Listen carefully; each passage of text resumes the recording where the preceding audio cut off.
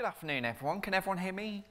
Okay, mic's on, fantastic. Uh, yeah, my name's Katie Fenn, um, and this afternoon I'm going to speak to you about memory and all the work that JavaScript and web browsers do behind the scenes to manage memory for us. I work for a company called NPM. I keep JavaScript packages running to your browser. Please don't break it. Um, I, I love working for NPM. It's a fantastic bunch of people. You can find me on Twitter at Katie underscore Fenn. Please tell me what you think of my talk afterwards. I'd love to hear whether I've lived up to that introduction.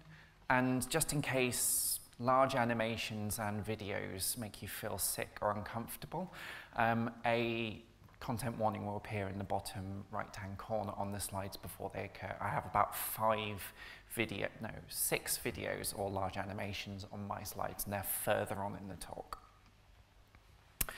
So, memory is fundamentally important. It's, it's really important for running our applications and our websites. It's a finite resource. We can't just produce more of it or add more to it to our laptop whenever we need it. And as devices, new devices are given more memory, um, our apps discover ever more creative ways of consuming it again. And in the last 10 years, we've seen a really big change in the way that we design our websites. Smartphones have become the most popular way of browsing the web. And if you have a relatively new phone, uh, iPhone 6, um, you'll know that it, uh, you might know it has two gigabytes worth of memory, which is a lot less than what my laptop has, which has 16 gigabytes of memory. And that's just the high-tech tip of the iceberg, if we just, as we just seen with Blaine's talk. If you go and look at the kind of devices that are used in the developing world, you might find much, much less. So it's a very constrained resource. As developers, we're often told that memory is important, but the truth is that JavaScript does a remarkable job of managing it for us. Now this is my copy of JavaScript, the definitive guide. It's a huge book. It has over a thousand pages, and it's the, it really is a definitive guide on pretty much everything to do with JavaScript. But if you look up memory in the index of this book, it comes up on just one page. And in fact, it's only mentioned in just one paragraph. And it reads, the programmer never needs to worry about deallocation of objects. The interpreter automatically reclaims memory. So how does JavaScript do this? Well, I want to take you behind the scenes to show you how. So before we can answer that, we need to think about what memory is and why it's needed. Well, memory is used to store the most important instructions and data used by our applications on the computer at a given moment. And this is the world famous Colossus computer that was famously used at Bletchley Park to decode enemy messages during the Second World War. And if you wanted to reprogram this computer. You can't just type into a keyboard. You'd physically have to unplug wires and plug them in a different place and rewire the machine. And you might think, I can see a tape on the right-hand side. That's where the program is, right? That's where the data for all those messages is fed into the machine. So it is very, very fast to crunch data, but it was very slow and inconvenient to reprogram. Memory was introduced later into computers, and these first so-called stored program computers could actually reprogram themselves to um, do different things on, while they were going. And this is what memory looks like inside a desktop computer. This is called RAM, and it plugs into the, um, into the motherboard on these sticks called DIMMs. And the actual memory is held on little chips on these sticks. And RAM is really lightning fast at reading and writing data, which makes it perfect for storing the most important things, the most important data that's being used by our application. Now, browsers allocate this memory on our behalf, and the areas of memory that it manages are called heaps. Absolutely everything that is on screen used by our web pages, or the HTML, or the CSS, images, JavaScript, videos, fonts, are all held in memory. And inside our web browsers, they um, allocate a heap within a heap just for the JavaScript data that our JavaScript is using. And when our page loads in the browser or when JavaScript creates variables, the heap grows in size and memory is allocated for those variables for those things. And when JavaScript objects are discarded or we navigate away to another page, the heap shrinks and memory is deallocated again. So these are the processes that JavaScript has to manage for us. And JavaScript allocates memory for us when we declare variables. And once variables are declared, we can assign values into that memory and start using the memory that's been allocated for us. Now this, we typically call this the equal sign, but to give it its proper name, this is the assignment operator, and it assigns values to the variable. But in fact, all these operators assign memory, and you can even use methods um, to assign memory. There's lots of different ways that you can do it, but essentially it all works the same way. It takes a value from the right-hand side and then assigns it to a memory address described by the variable name on the left. Now, JavaScript uses something called scopes to deallocate memory. If the heap is a farm, then a scope is a field. We use, we use scopes to break memory up, to make, group it into smaller bits that we can manage. And that allows us to do things like reusing variable names and to protect values, protect va variables from being written to by other functions. But crucially for JavaScript's memory management, scopes capture variables and values defined around them and then makes them available for use inside those functions. And when a function has run its course, when we've called it, and it's done its work, and, it, um, and the, the function call ends, its scope ends as well. And any variables that are only used by that scope um, are not needed anymore, and the memory used by them can then be reclaimed. Variables are only retained as long as their parent scope exists. And understanding scopes is the key to understanding how JavaScript manages memory. We'll come back and speak about more on this later. So that's how you control memory in JavaScript. That's how you start telling JavaScript your intentions. Let's start going behind the scenes to see how JavaScript works and actually manages the, mem the, the memory as a physical resource. JavaScript belongs to a family of languages called garbage collected languages. And really, if you boil that down, it just means that JavaScript does a lot of work that you don't have to worry about. The easiest way to explain garbage collection is to contrast it with almost the opposite, with manual memory management. Um, this is a line of C code. C is a programming language, and it belongs to a family of ma manual memory managed languages. And C is used to make a lot of software tools. And it gives you a lot of authority over resources, system resources, such as memory. So if you wanted to declare an array of 10 items, you can use the malloc function, and you can say, give me some memory the size of 10 integers here. And to free up that memory again, you can use the free function. You say, pass in this reference and say, free up this memory. Now, this is a lot of control over your memory, but it's also an awful lot of work. If you wanted to expand this array and add more items to it, you would have to go through this cycle again.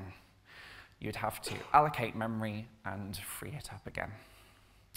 You also have to keep very, very close track of all the data that's in your system. So you have to have an exquisite knowledge of everything that your, everything that your software is doing. And garbage collection is designed to take care of this for you.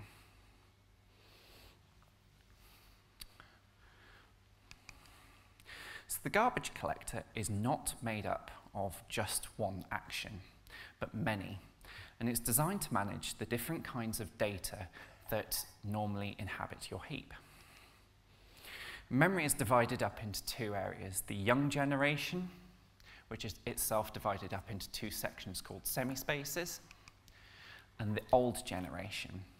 Now, most variables that we create in JavaScript are short-lived. We create them, we use them for a purpose, and then we discard them very, very quickly. And the young generation is designed to take maximum advantage of that, making that process fast without holding your application up. And that means all new variables are created inside the young generation. And they're created here in half megabyte pages. Storing variables in pages makes managing memory more efficient and it allows the garbage collector to grow and shrink the size of the heap efficiently. When the first, um, the first section or semi-space fills up, um, a minor garbage collection begins. Objects that aren't needed or um, objects that aren't needed anymore are discarded. So how does JavaScript know which objects in your system are being used and which objects aren't. All the objects in memory are linked together by references. You, ha you have one object that's holding the hand of another and say, I'm using this. And it's a bit like a family tree where you can trace the members of your family by following the relationships. JavaScript can trace objects through this tree using those references. When objects are deleted or overwritten or a function is called and it comes to an end, some of those references will be cut and some of those objects will become unreachable as a result. Any objects that can be traced are considered alive and some of those objects that can't be traced will be considered dead. When all the objects die, that whole page can be discarded. Discarding whole pages is one way that the garbage collector can be really efficient. So a minor garbage collection takes as little as one millisecond. It's very, very good at its job. And the more data is discarded, the more efficient job a, a garbage collection is. And any pages with any live data remaining are then moved to the next semi-space, and the whole process begins again. Any pages that survive two minor garbage collections are then moved to the old generation.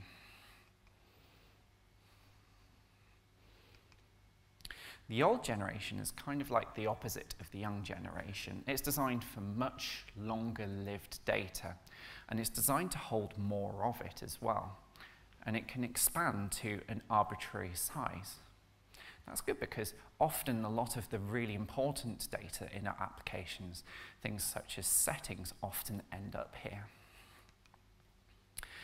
And when this grows large enough, a major garbage collection begins. The major garbage collector uses a mark sweep compact garbage, collect garbage collection. And it does this to efficiently manage the sort of data that ends up in the old generation.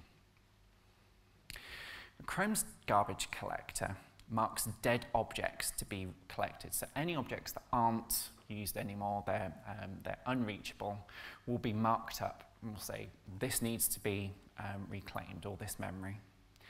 And it uses a similar tracing process as the minor garbage collection to find out which date which objects are alive and which objects have died.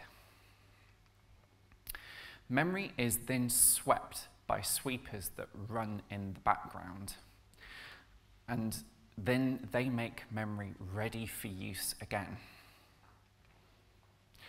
Memory is compacted throughout this process to make a more efficient use of memory, to make sure that there's enough memory in your system to be used by everything else. A quick note about performance, about how some browsers are um, uh, making performance optimizations. Um, marking can block your application some processes marking can, make, um, can mean that your application isn't doing things like responding to user input or scrolling or, won't, um, or you won't be able to input um, stuff into forms. And marking a large heap can take 100 milliseconds. So really, browsers really need to work hard in order to keep your applications responsive. Now, V8, which is Google Chrome's implementation of JavaScript breaks this up into one millisecond chunks so your applications can keep being responsive. And V8 has re recently added concurrent marking, allowing 70 to 80% of this marking to happen in the background so your application can keep running. I wanted to say something about WebAssembly. WebAssembly is a really exciting advent of a new relationship with memory and with performance in the browser that's coming up in the future. WebAssembly is a way of running languages other than JavaScript to work alongside JavaScript in the browser. And it allows you to use a compiler to compile code written in languages such as C, C++, or Rust, or many other languages in the future to work in the browser. And I know many, there must be many people in this room who've wanted to use a language other than JavaScript. Compiling languages like C opens the door to running much more high performance applications in the browser, just like this 3D demo that was produced by Mozilla and Epic that uses the Unreal Engine. You might have heard the Unreal Engine before it's used to make countless video games on PCs and consoles that animate complex 3D scenes such as this. So if you can see the blossom coming off the tree, if you can see the reflections coming off the pool, that's precisely the sort of thing that is now possible with WebAssembly in web browsers. And just one of the things that makes this possible is that WebAssembly applications have ownership over their own memory. This allows more efficient manual memory management to take place, free of the influence of JavaScript's garbage collector. Unfortunately, I don't have enough time to take a deep dive into WebAssembly, but I really highly encourage you to have a look at this talk by Lin Clark at JSConf EU this year. She goes into WebAssembly in really great detail, and it is a fantastic talk. Definitely give it a watch. So, actual problems with memory, they can be classified loosely into two different problems, memory bloat and memory leaks. So how do you know that you have a problem?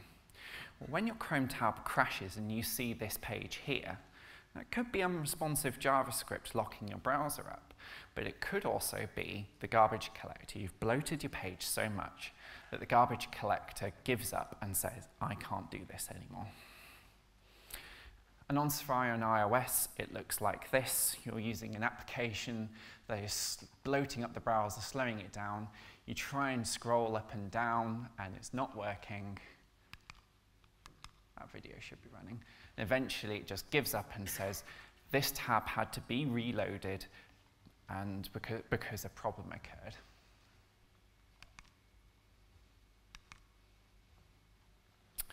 So um, memory bloat is when we make unnecessarily large websites for the purpose that they serve. All the HTML, the CSS, the web fonts, the videos, the JavaScript code, are all stored in memory and contribute to your application's footprint. Opening Chrome, um, the Chrome Task Manager shows us how much memory each of our tabs consume. You can, oh, I'll cut that off a bit. So if you go into the menu, you can select more tools, you can click on Task Manager, and it will crunch through the memory and it will show you how much each tab is using. Really helpfully, it also breaks down the memory that's used just to display the things on page or the HTML and the CSS. And it also shows the size of the JavaScript heap as well. So you can start to think about, do I have a problem with just memory bloat, or is it caused by um, a memory leak in JavaScript? A baseline consumption for a Hello World application that just shows Hello World on page, doesn't have any CSS, it doesn't have any JavaScript, absolutely nothing at all other than a headline, is around 100, 100 megabytes. That's just the overhead of any kind of web page. It's not just this. That's for any web page at all. And the, um, the JavaScript heap is about three, uh, three kilobytes as well, and that's just the minimum, need, minimum amount needed to make JavaScript's APIs accessible. A really crowded web page might consume 500 megabytes. And that might not be an issue on a desktop like this that has 16 gigabytes worth of memory, but that's a quarter of the amount of memory used by this. And as we saw with Bruce and Addy's talk, bloating your web page can really start to cause significant problems and you really shouldn't do it. You should only use the amount of memory that's needed to serve the purpose of your application. So don't bloat your web pages, optimize your images and your content. Now when JavaScript code continually adds more and more data to the heap than it discards that data, that's a classic sign that you have a memory leak. And memory leaks are caused by code mistakes in your JavaScript that, present, that prevent that data from dying off. Or if this is your data and you thought it was dead and gone and wasn't a problem anymore, this is you thinking, oh no, I've got a memory leak. So you can study memory leaks using the Performance tab in Chrome DevTools. So you can open that and you can click on Record, you can interact with your web page and trying to get it to recreate those problems. You hit record again and it will show you this graph here. Now this graph, the line goes up whenever the memory is allocated and the memory goes back down again whenever that memory is freed and it shows you the size of the heap at a point in time. When the heap size is larger on the right hand side than it is on the left, that is a classic sign that you have a memory leak, that um, data is being added to the heap and it's not being um, released again. So how, how does this start happening? Well, accidental globals is one sort of mistake that causes this. Variables in the global scope are very, very long-lived. They last for the lifetime of your application because at any point and at the point that your, your, your uh, web page is open, those variables might be needed. So they can't be automatically um, discarded by JavaScript. And this illustrates just how easily global variables can be created. Because the results variable is declared without a var keyword, that data is created in the global scope. So it's always a good idea to use a linter such as JSHint or ESLint to spot some of these mistakes, or to use um, JavaScript's strict mode that prevents these things from happening. So scoping variables is very, very important. Um, after fixing that scoping, we can um, the garbage collector can free up that memory after the function is finished. Can see now that the graph is lower on the right-hand side than it is on the left. That's a good sign.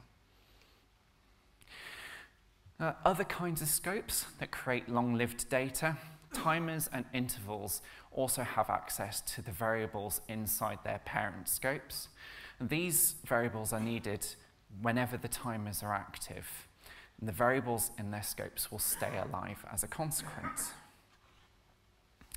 And this graph shows a memory leak swelling the size of the heap on every tick of the timer. This is not every any um, event timer in any application. This is mine. This is mine. It's deliberately crafted to um, abuse the, the heap and add loads and loads of data to it, and we can see that effect that it's having. When we clear that time, and when we use um, uh, remove timeout or um, unset timeout and unset, can't remember which one, if we remove those timers, the scope ends and that memory is freed again. Event listeners are also scopes that capture those variables in the scopes around them, just like timers do. This example program deliberately generates a really large string um, whenever the button is pushed. And the scope around that, um, that event handler keeps that variable alive. And as long as that event listener is active, the scope is kept alive and those variables can't be freed again. So removing unneeded event listeners allows that memory to be freed up. A really common source of memory leaks are orphaned DOM nodes. We use DOM nodes for creating and manipulating HTML elements that are shown on page, on screen. And this script generates lots and lots of detached DOM nodes, which are absolutely useless unless they're added to the DOM tree and shown on screen. If you can't see them, they are relatively useless. Now, Chrome DevTools can help us find these orphan DOM nodes by taking a memory snapshot. You can open the Memory tab in Chrome DevTools, and you can click Record, and it will take a survey of all the objects that are in your heap. And it will show you a list of all these objects, and you can filter it by detached, and it will show you a list of all the detached DOM nodes. And if you click on some of these, you can start to see um, clues about where these objects can be found. And in this case, by clicking on it, we can see that all these objects are stored inside an array called buttons in the global window scope. So we can start to look for clues about where these memory leaks are being created. So in summary, memory is a finite resource. It can only be used, freed, and then reused again. And we have to be good citizens. And JavaScript helps us do that. It helps us do that by managing memory on our behalf, and it does a lot of work that other languages have to do manually. The garbage collector frees up memory that's not being used. Memory bloat is when websites are unnecessarily large for the purpose that they serve. And memory leaks are when unused memory can't be freed again and our scripts gradually swell the size of the heap. Finally, use DevTools to confirm your problems. They are your friend and they are very, very powerful. Now, as I said earlier, I work for a company called NPM, and if you like our Wombat mascot as much as I do, I have some special edition Seaside FFconf Wombat stickers for your laptop Sadly, I don't have enough for everyone. I have about 40 for today. So if you want to come and um, get one of these, come and see me in the break after my talk, and we'll see if we can distribute those out. So that's the end of my talk. Thank you very much. A special thanks to Mate um, Matthias and the uh, V8 Google, um, garbage collection team. They gave me lots and lots of resources in order to do this talk, and they also gave me a technical check as well. So shout out to them, and thank you very much.